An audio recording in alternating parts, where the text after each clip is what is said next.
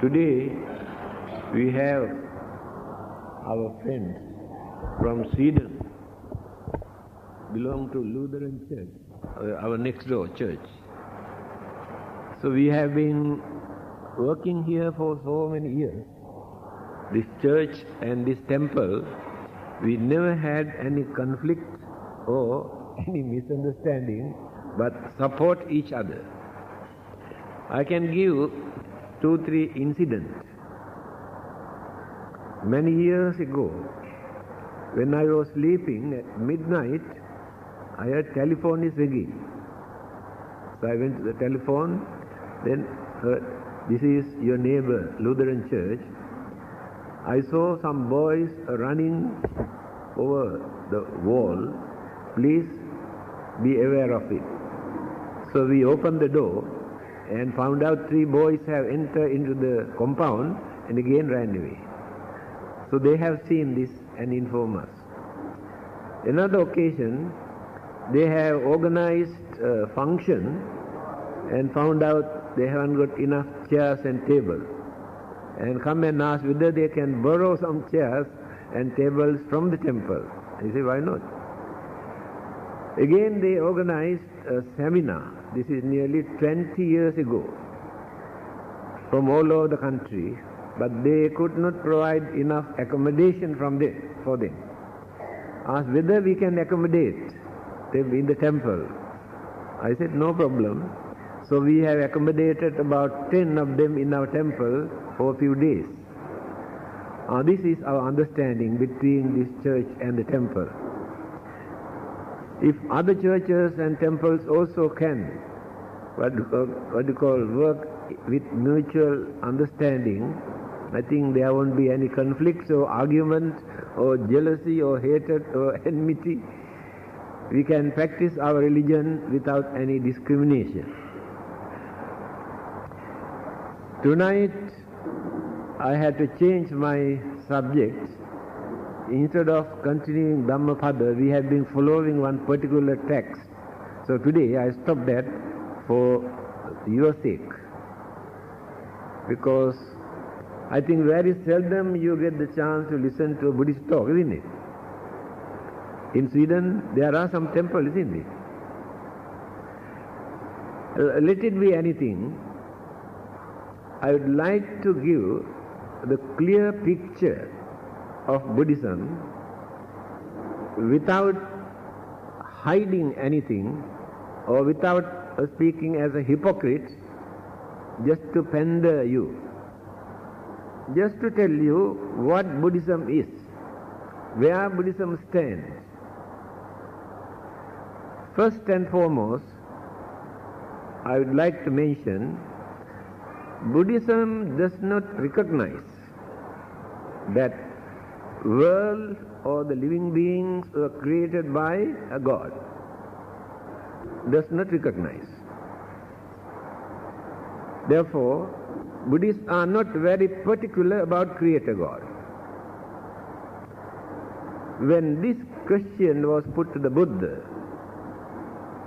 that is about the God, simple G, not capital G, gods, whether gods appear or not, the Buddha has given an answer in this way.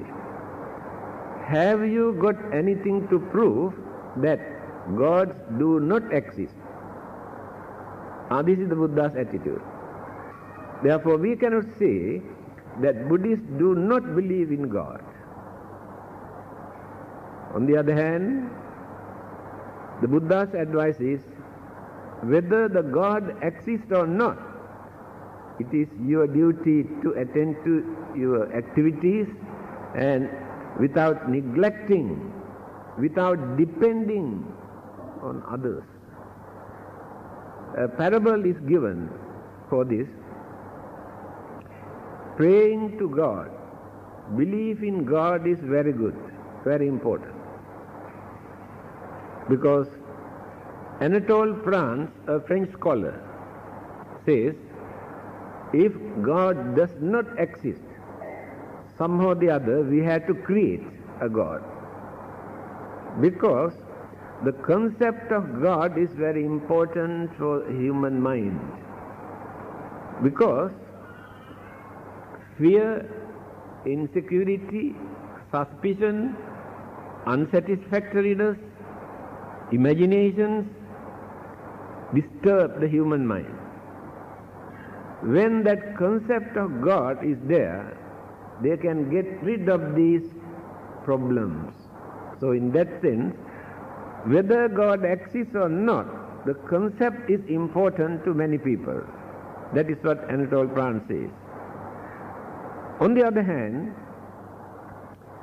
45 years teachings of the Buddha, we cannot find where the, the Buddha mentioned that there is no God. He never uttered that there is no God. So his advice is whether the God exists or not, you had to do your duty. The parable is belief in God, praying to God for your protection is very important. But don't forget to lock the door when you go out at night time. There is no guarantee that God will look after your house until you come back. Ah, that is Buddhism. That means you must know how to look after your duties and responsibilities. If God exists, God will bless you. If God does not exist, you never lose. So that is the first item, very frankly, I have to tell you. Then the second item is eternal soul or the first cause. In Buddhism, there is no such thing as soul, S-O-U-L, soul, or the first cause. The yeast of Buddhism is anicca, dukkha, anatta. Impermanency in everything, friction and clashes or unsatisfactoriness in everything, and unsubstantiality. That means there is no such thing as permanent entity to remain in the end. Uh, this is called three characteristics in the Buddha's teaching. Everything is going on, changing, changing, changing, changing. Impermanence is there. While existing, there will be clashes, friction, calamities, uh, and sufferings, unsatisfactoriness. Even in the elements or the matters or the plant life or living beings, we can find this friction. So when we analyze, there is nothing to remain as eternal soul or the first cause. Scientific analysis given by Albert Einstein, he says, when we analyze the whole world, or the whole universe, there is nothing to remain as an entity but only vibrations or waves. Uh, this is scientific interpretation. So the Buddha has mentioned earlier that there is nothing to remain as permanent entity. Everything is going on changing, changing, changing. So these three characteristics. So we don't believe that there is a first cause because when we take something as cause, that cause create effect. Later, that effect become the cause and produce another effect. Then go on like this, cause and effect, cause and effect, cause and effect are interrelated. There is nobody in this world who can say this is the first cause. Of course, very easy for us to say God is the first cause. Then the people ask, then how did that God appear? There must be a cause for that God also to appear. Uh, these are the argument. So, first cause is not the important thing. One of the disciples of the Buddha, a monk, came and asked Buddha, Can you tell me what is the beginning of this life? What is the beginning of this world? Buddha did not give the answer. By knowing his mentality, then he said, if you are not going to give answer to my question, I am going to disrobe and go back. Then the Buddha asked, Did I promise you that I will tell you the beginning of the world or the beginning of life when you want to become a monk? No. Uh, in that case, why do you want to challenge in this way? Then the Buddha said, Assume someone come and shoot you an arrow, because no bullet at that time. Then you are suffering, the arrow is here. When someone come to help you to take out the arrow and apply some medicines, you say, no, you cannot take it out unless you tell me who shot this arrow. Whether he is an Indian or European, I want to know the details. Who shot this? Meanwhile, you may kick the bucket. Your duty is allow people to treat your wound and to cure your sickness. Therefore, it is not important for you to know what is the beginning of this world, what is the beginning of this life for you to get rid of your suffering, your unsatisfactoriness. You have to start from today onward. Ah, this is the Buddha's way. Then, next item, according to the Buddha's teaching, there are no such thing as reward or punishment from the God, or from the God or from the Buddha. Action create a reaction, cause and effect. In between this cause and effect, there is no God, there is no devil. Our action create a reaction. Good begets good, bad begets bad. Cause and effect. So, it is not necessary to have another person to handle this case. Our karmic energy, mental energy, cosmic energy, all these energies combine together. Then the reaction or the effect we experience according to the nature, the degrees of our action. If it is wicked or cruel, dangerous, harmful, miserable, then we experience the bad effect. If the action is good, very compassionate, and very loving, very understanding, very cooperative, then the action becomes a good one.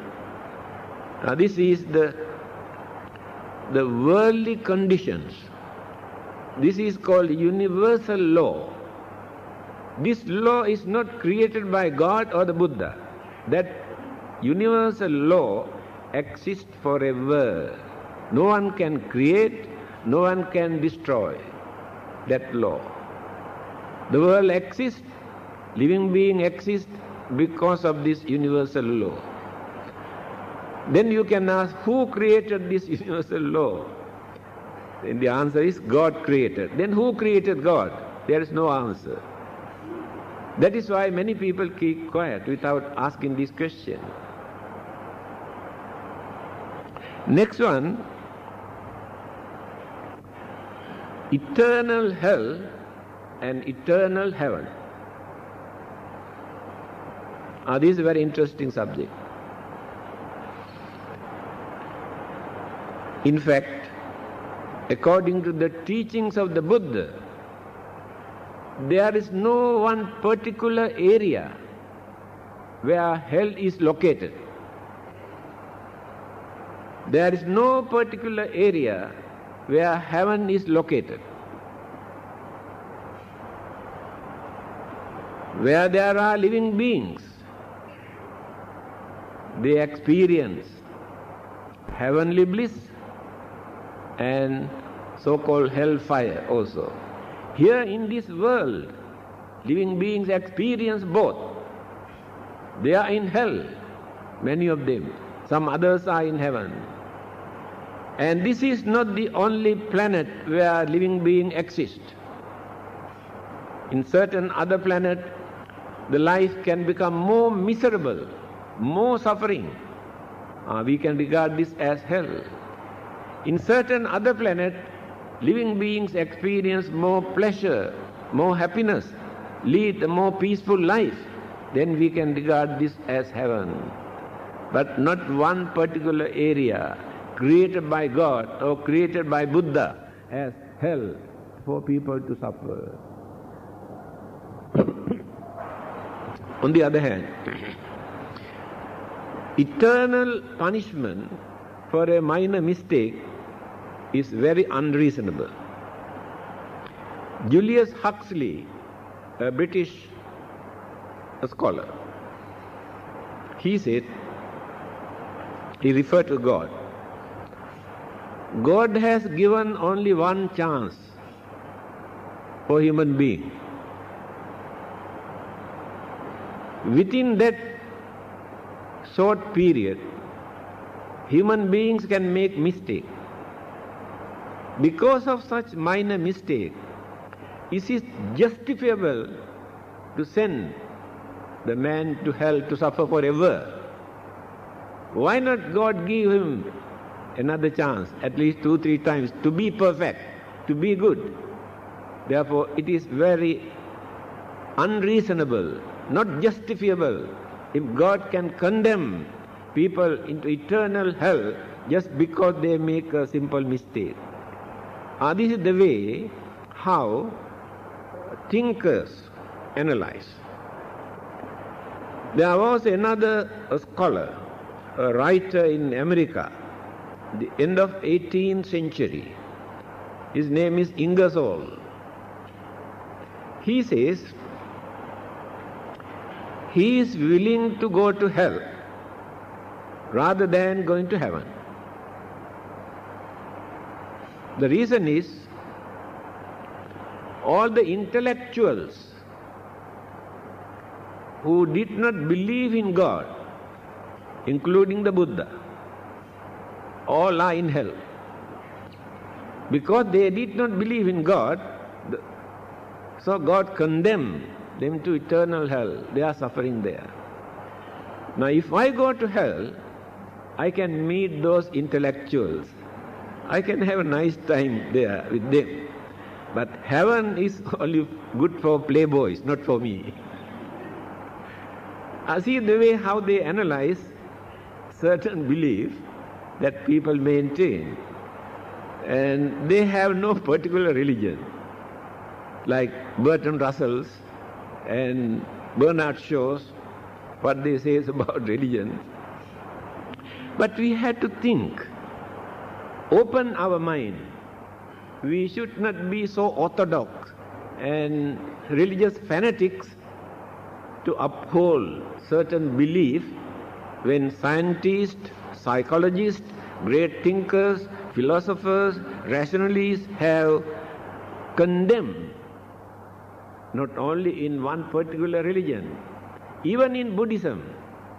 Buddhism means in the Buddhist literature, how many things are there that intellectuals can condemn?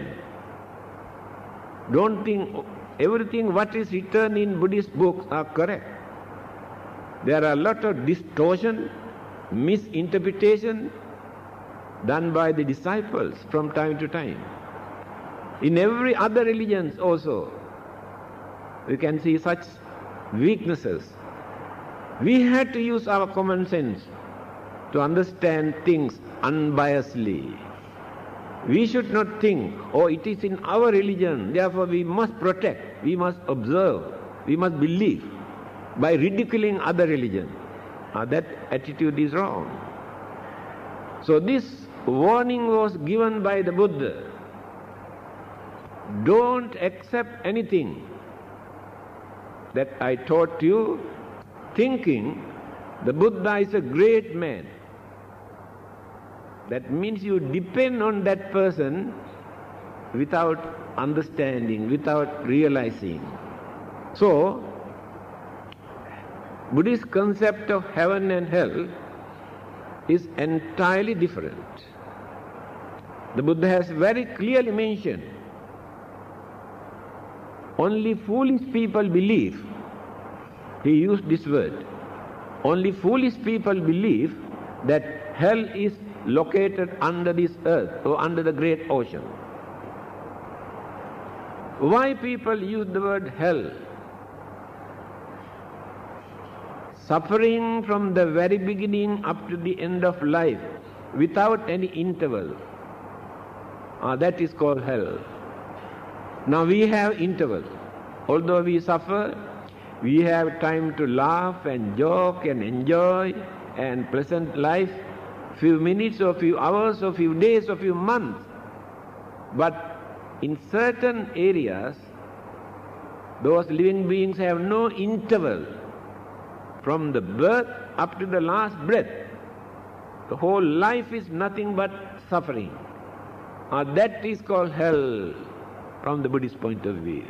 Now we are not in hell, although we suffer, because we have time to relax and laugh. Then heaven. Very rich man one day came to see the Buddha and told him, We have no time to meditate and practice religion to be perfect.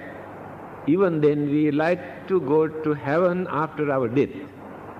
Can you please tell me how to do that? Then the Buddha said, Why do you want to wait until you die to experience heavenly bliss? You can experience heavenly bliss while you are here in this world if you know how to handle your life properly. No need to wait until you die. So, according to the Buddha, heaven and hell both exist here in this world, but not only here in this particular planet where there are living beings. There also we can find heaven and hell. Therefore, hell and heaven both were not created by God or Buddhas or any other person. Natural sufferings, natural enjoyment, we interpret as heaven and hell. Next point is forgiveness of sins, pardons. After committing certain evil deeds, wicked deeds, harming others, we come and confess, asking God or asking the Buddha to forgive. And next week also again, they go and ask forgiveness after committing the same thing. Now they are not scared to do evil deed. They believe there is someone to forgive them every time. Indirectly encourage people to do more and more bad things because they believe there is someone to forgive their sin. Therefore, Buddhism never accepts this belief that there is someone who can forgive our sin. The Buddha says, I cannot forgive your sin. There is no God who can forgive your sin. Suddhi asuddhi pachattam nanya manya visodhaye. These are the sayings of the Buddha. The purity and impurity of the mind remain individually. Another person has no right to interfere with this, to cleanse our life from the sin, or to make us sinners. Others cannot do. According to our way of thinking, our way of talking, our way of doing things, these three things are responsible for us to become sinner or for us to become perfect living being.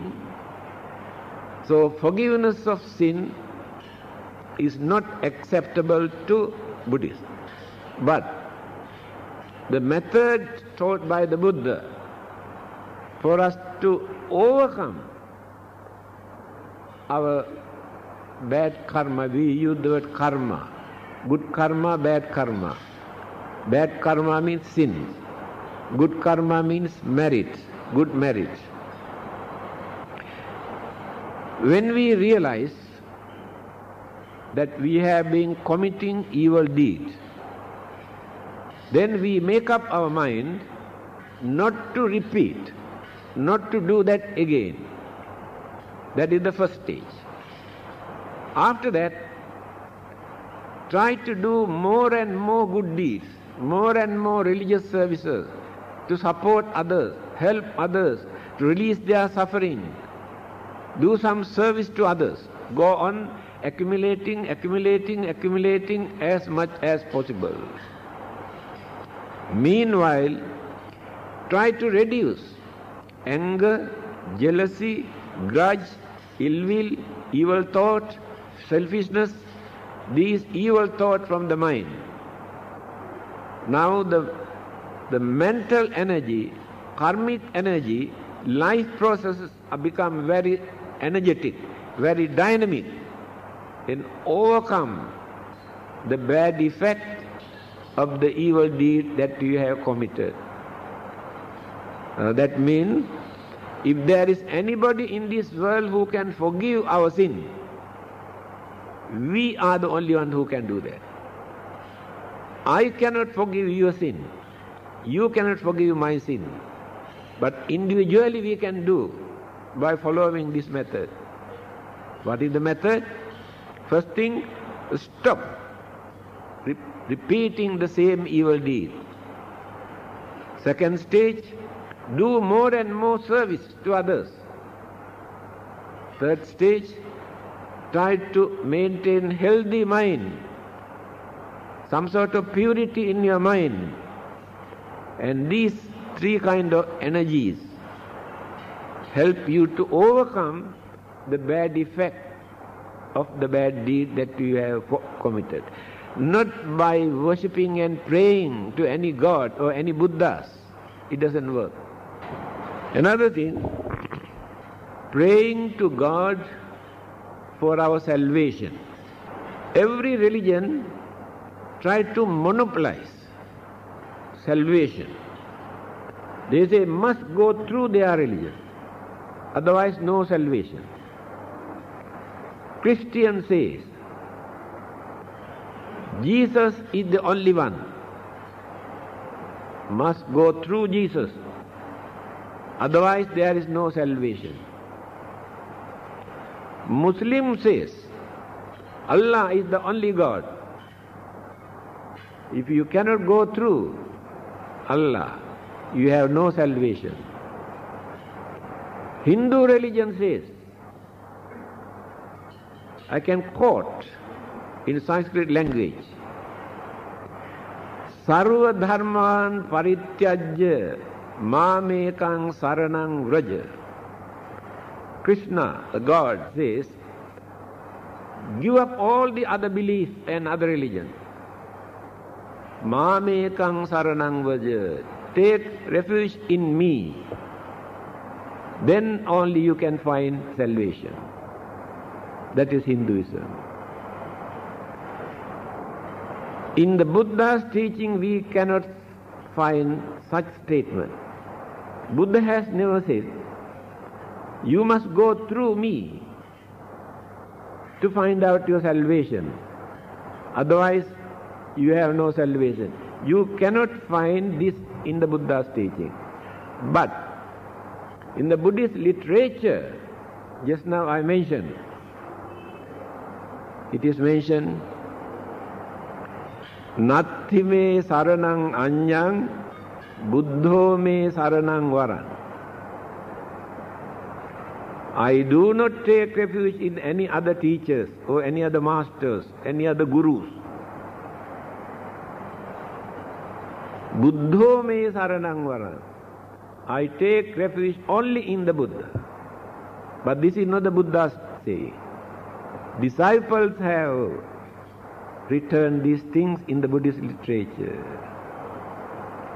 So, in simple language, what I am going to tell you, Buddhists do not believe, according to the teachings of the Buddha, that Buddhists are the only people who can go to heaven according to their language, heaven. Here we take for salvation. But when we analyze the Buddha's teaching, we can understand. According to him, the follower of any religion in this world can go to heaven, can find out salvation. Even those who have no religion also, if they lead a gentle, noble, respectable life, they also get the chance. Religious label is not the important thing here. Gentleness, honesty, kindness, compassion, and all the activities that we cultivate without any ulterior motive, without selfishness. So we can say the follower of any religion can find out salvation if they really practice or lead a noble religious way of life. Because religious people are harmless people. They are honest people. They are kind and understanding people. All these good qualities were not created by God, not created by Buddha.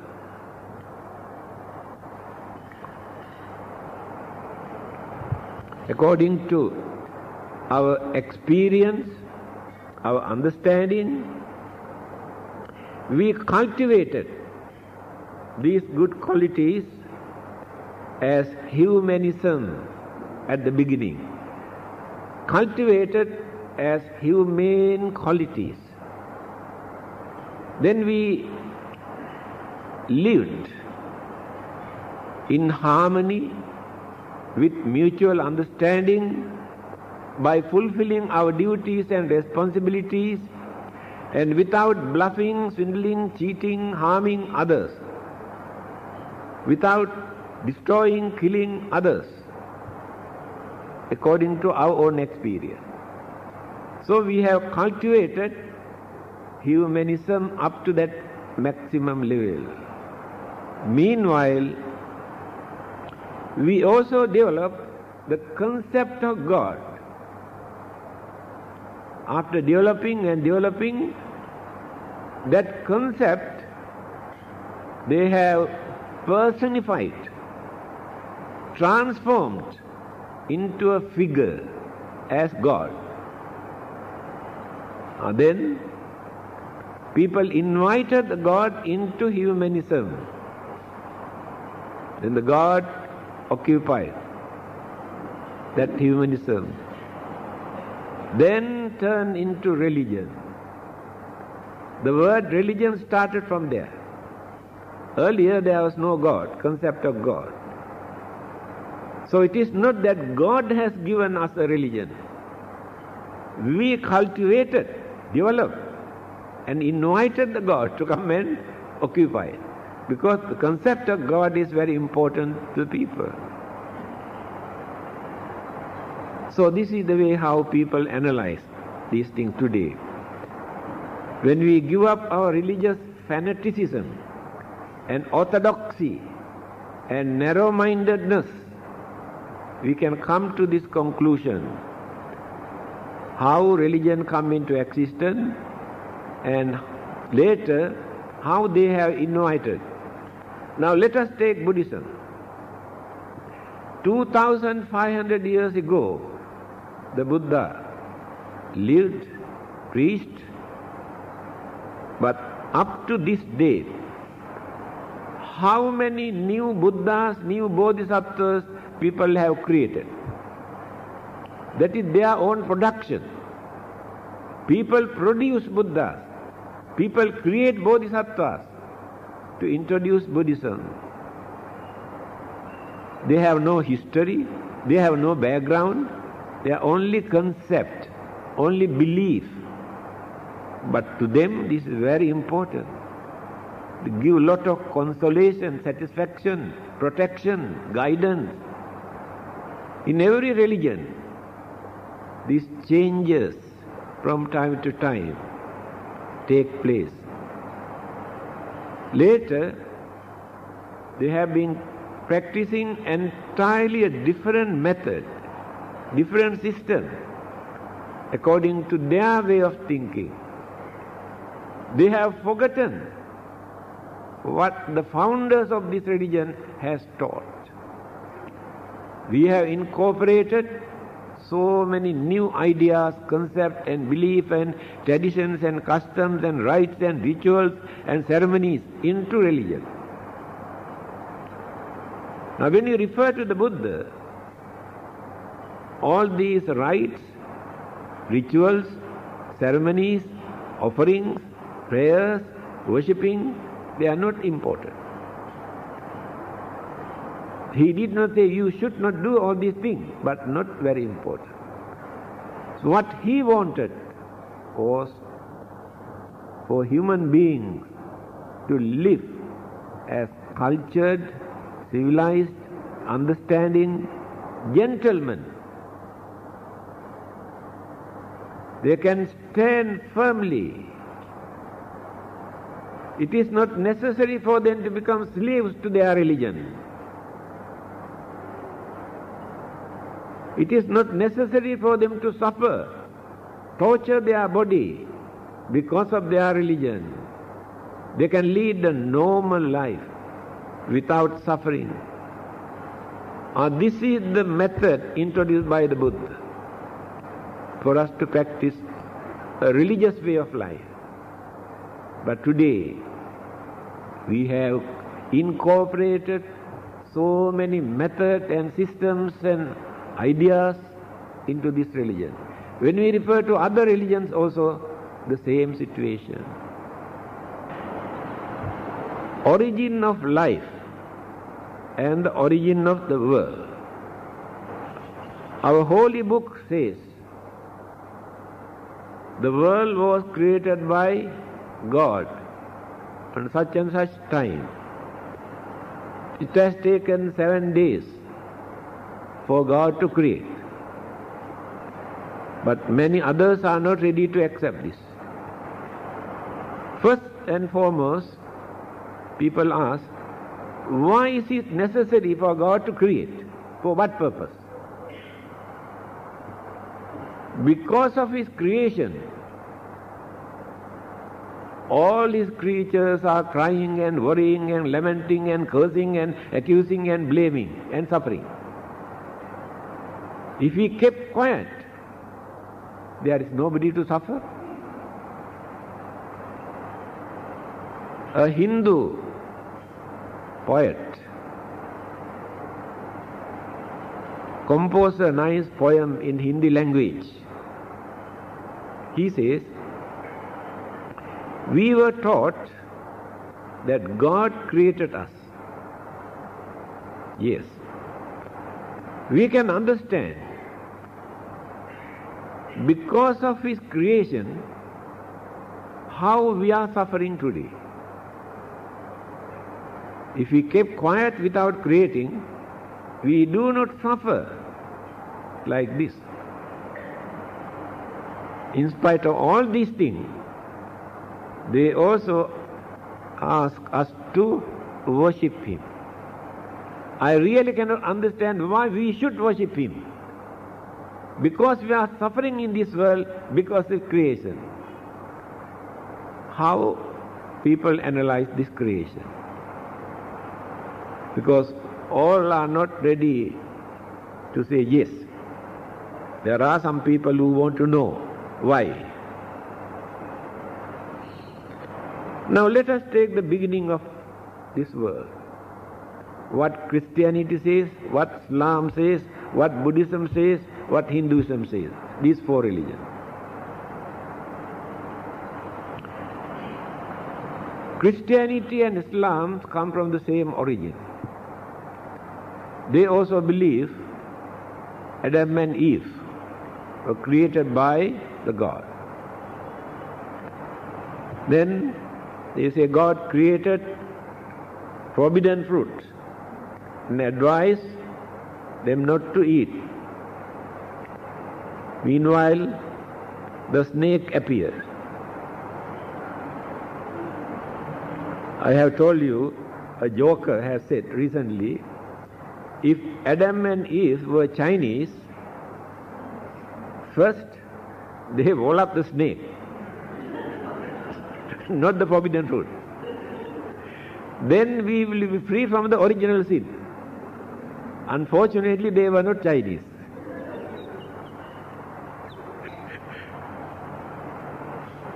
Just because of that, we have become sinners.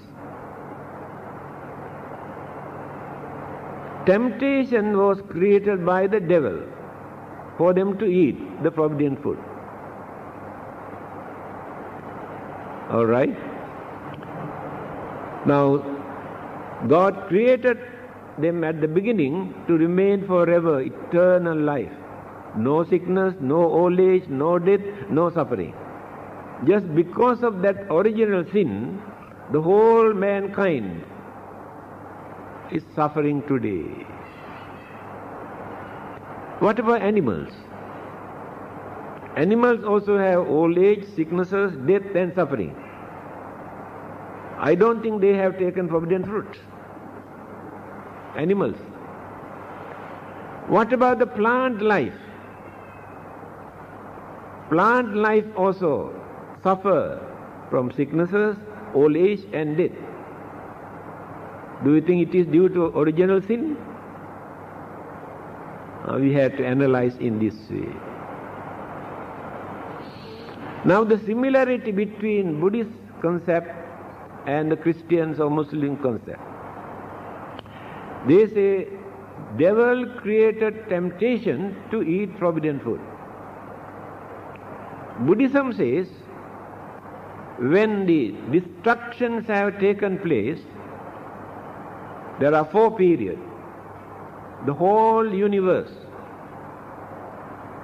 existing period, decaying period, and disappearance, empty. Four period. Whole universe, but not at once. If anything come into existence, it is due to the combinations of elements or energies.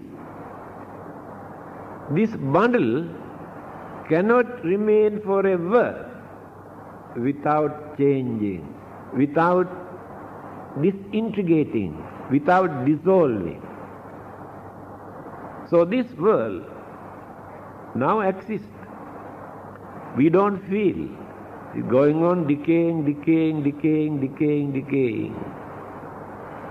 How many hundred thousand or how many millions of years, we do not know. It is decaying. No one can stop it.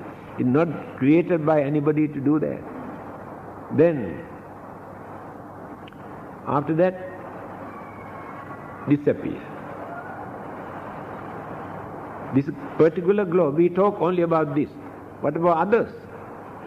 Galaxies, how many millions and millions of galaxies are there where there are some living beings? So when this one is completely disappeared, all the living beings again exist in some of other planet where there are living beings.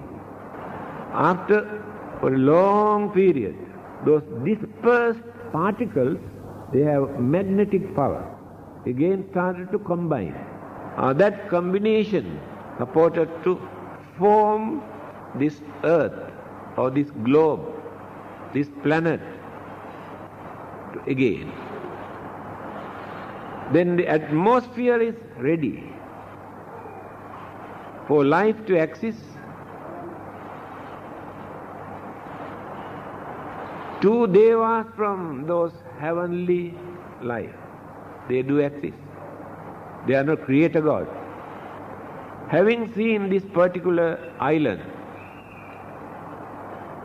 or this earth come down, when they came down, they had a very tempting aroma from the earth. So they wanted to test. Wonderful taste. Then the hidden craving that they have been controlling aroused. And that craving become the cause for them to suffer again and again and again. You can see the similarity. Christianity also says the temptation, craving created by the devil, but Buddhism never says devil created that. It is in their own mind, but subdued, suppressed. So according to the Buddha, there is neither beginning nor end of this universe. When one section disappears, many other parts of the universe remain. He said there are thousands of suns, thousands of moons. People laugh at that time because they could not understand. Today, astronomers say definitely there are so many suns, so many moons, and so many millions and billions of world systems. Not only one universe, there are many universes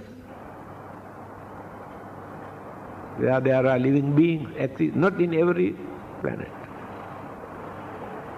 So, there is neither beginning nor end. When destruction takes place, dispersed particles again come and join together. The life, when disappear from here, reappear from somewhere else. Just like setting sun here in this country may become the rising sun in your country. Same sun.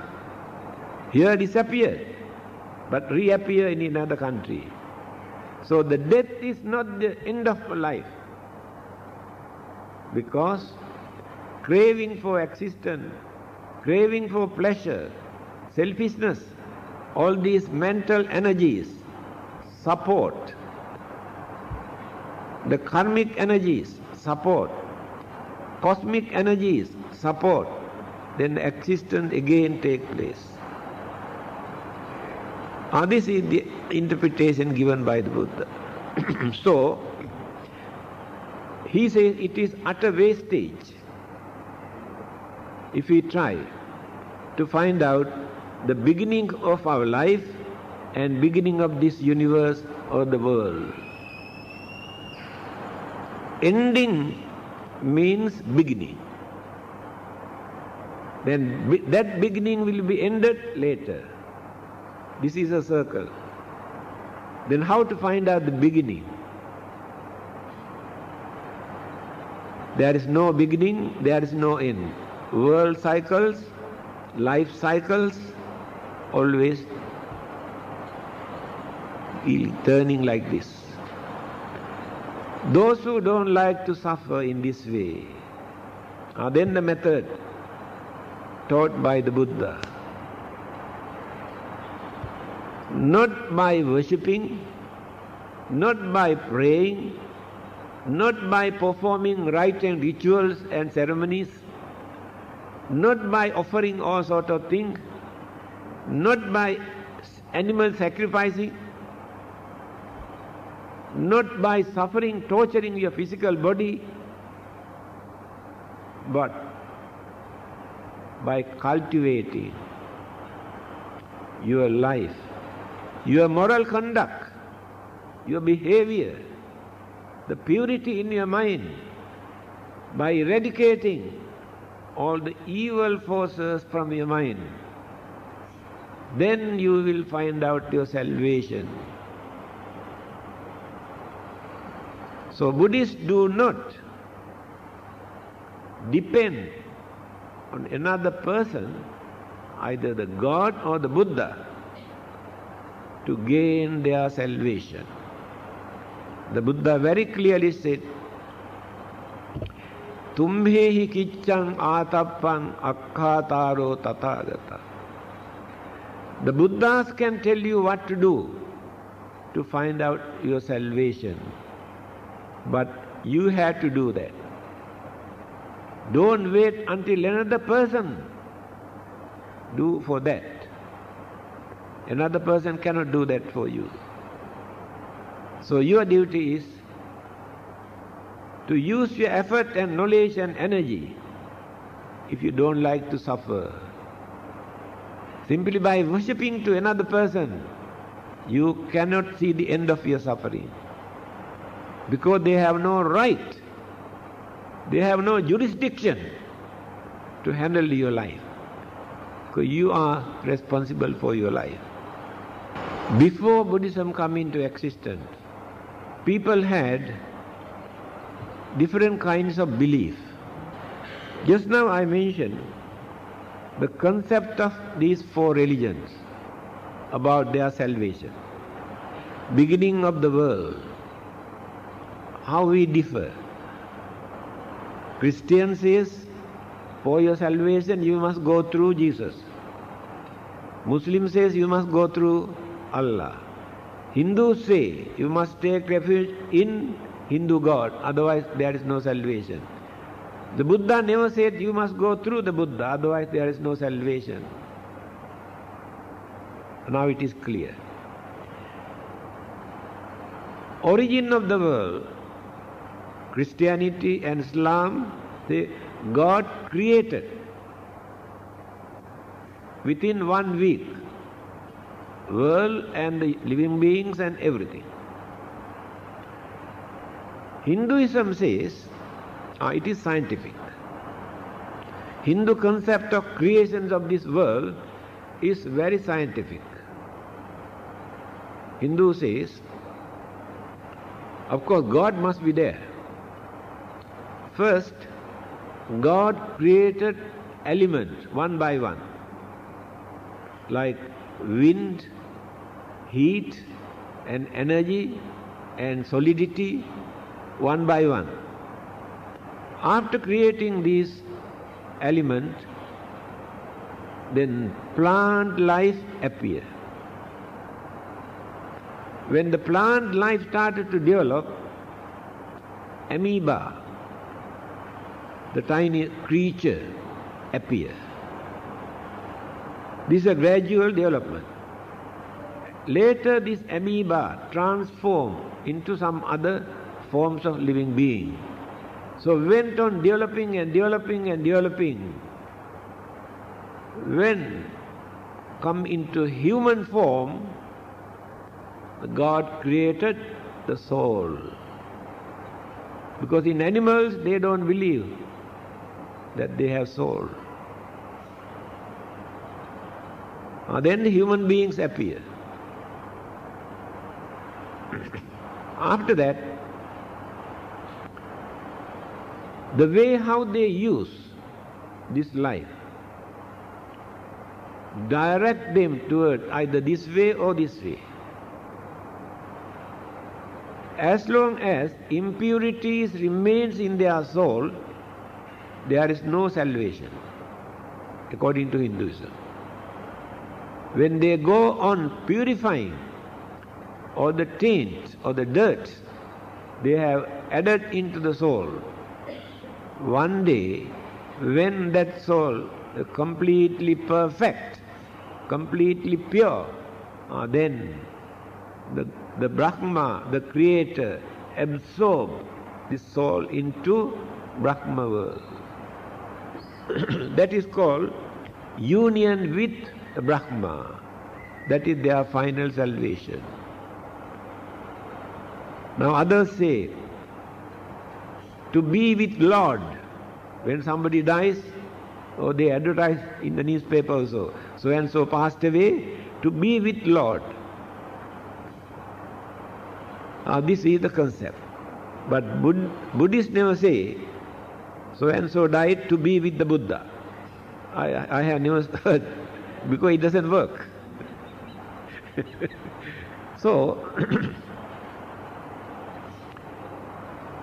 This system, this belief, this concept, people maintain according to their respective religion. So the Buddhism says there is no such thing as soul. Then what is that? To be born again if there is no soul. Uh, that is what many people cannot understand. Buddhism says the word Atma or soul they have introduced due to lack of understanding of human consciousness. Even modern psychologists admit that. Their knowledge about the human mind is very, very little. Modern psychologists. In the Buddha's teaching, it is mentioned analytical interpretation of elements and mind. Mental analytical interpretation, I don't think that you can find in another religion. Because other religion is need faith, belief, praying, worshipping. But they don't know to analyze the human mind. So the Buddha analyzed this mind into five faculties. The whole body into five faculties. Rupa, Vedana, Sanya, Sankhara, Vijnana. Five. Rupa means physical body. In our physical body, there are four elements. This is the combinations of four elements. Solidity, fluidity, heat and motion or wind. Binding factors are there as life processes. But the body is not the life. This is the house. After our death, we cannot carry this to heaven or hell. But life process, mental process, karmic process, combined with the cosmic energies, proceed. So they could not understand this at that time. Then we analyze the mind.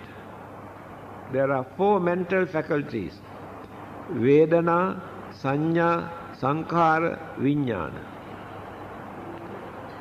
First mental faculty is our feeling, our sensations. These sensations and feeling animals also experience. Certain plant life also experience because when you touch the leaves closed. Sensation, feeling. Then sanya, recognition, identification, understanding that this is so and so, this is good, this is bad, this is cruel, this is very useful, all done by that particular mental faculty. Third one, sankhara. All our mental activities. We have storehouse of consciousness. Modern science, uh, psychologists introduced this as the storehouse of consciousness. In this storehouse of consciousness, all our good karmas and bad karmas, good deeds and bad deeds, reflected, deposited there.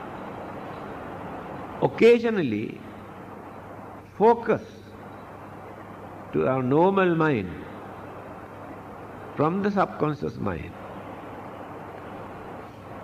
Within this lifetime, we have accumulated so much mental energies, wholesome and unwholesome, in the sub storehouse of consciousness.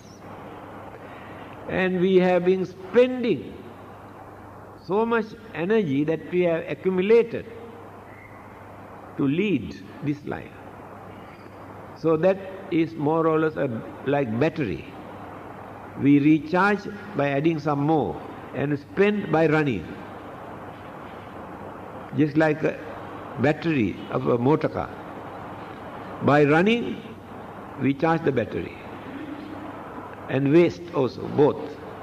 We spend, we charge. So our life is exactly like a battery. When we work, when we enjoy, when we suffer, we spend our energy, what we accumulated, we recharge the battery again for our journey.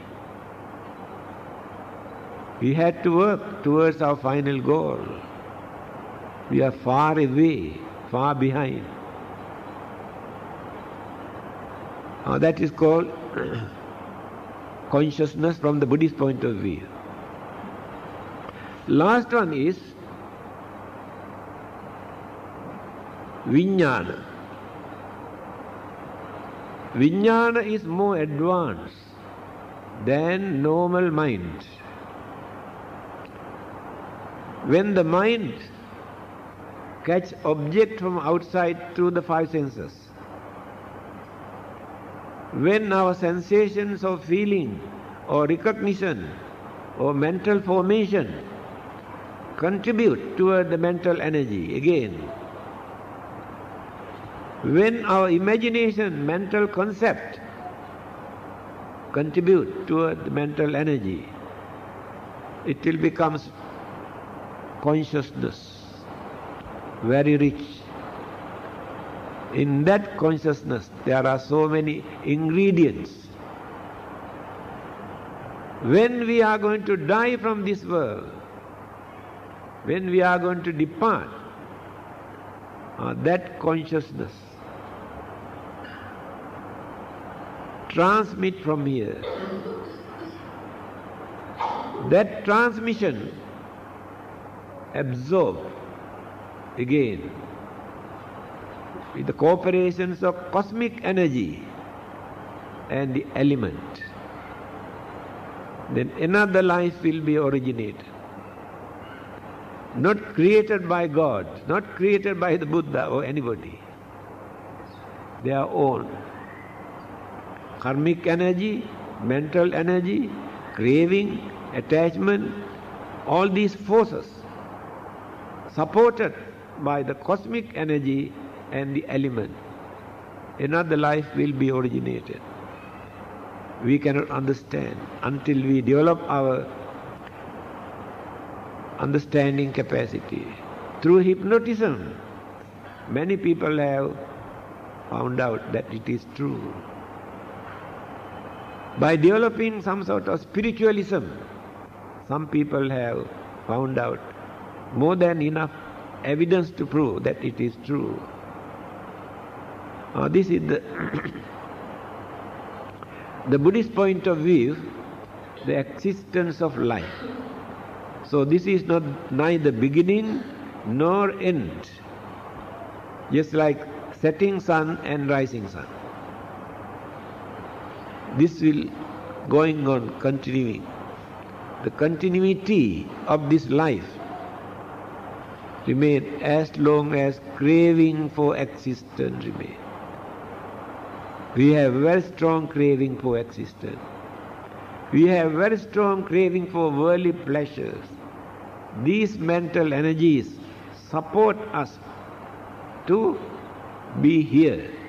We are bound to this world because of these binding factors, these energies. By, by leading a religious life, what we are trying to do? Cut off these bondages. So when we cut off these bondages, then we get the chance to go up higher and higher and higher and higher. upward journey. upward means spiritual way. Then the life become more meaningful, more noble, more respectable, become harmless, later find out the salvation. I think it's better to stop here. Why not we allow our friends to ask some questions? Yeah. like to use the mic. Uh, let me then, on behalf of this group coming from the far north country, Sweden, um, express our gratitude to your lesson and to what, what you have given us concerning your faith, your way of living, and how you want to live the life given to you here on this earth. Thank you very much. Thank you very, very much this. Thank you very much. Thank you very much for your understanding. Anyway, let us bless our friends. Blessing is blessing, whether you are Christians or Buddhists or Hindus. I remember when I was in St. Vincent Hospital in Sydney, for my bypass operation, a lady came with the Bible. I was not wearing this robe in the hospital. She told me tomorrow morning that your operation will be conducted. This is a very serious operation, therefore you must be Holy Communion. I say, good, very good. Then started to pray and recite something and said the passage of Holy Bible. When she is completed, I said, Amen. Within few seconds, a group of students from New South Wales University, all are Chinese from Malaysia, came to see me. This lady also standing there. They came and kneeled down and paid respect according to their custom. This lady was watching. Then he whispered to one of these boys, eh, Who is this man? Then they said, He is our chief reverend from Malaysia. My God, I never knew that. She came to me and apologized. Then I asked, Why do you want to apologize? I really appreciate for what you have done for me. You have done with kind heart to help me, to support me. And uh, I am a Buddhist. I am not a fanatic. We, blessing is blessing. Whether it come from Christians or Hindus or Muslims or Buddhists, or it, it come from the heart. Blessing is blessing. There is no different kind of blessing, Christian blessing, Buddhist blessing, just like Christian kindness, Buddhist kindness, Muslim kindness. Kindness is kindness not belong to any particular religion. Uh, in the same manner. So I am going to bless so all of you for your good health, your peace and happiness, and safe journey, and hope to see you again.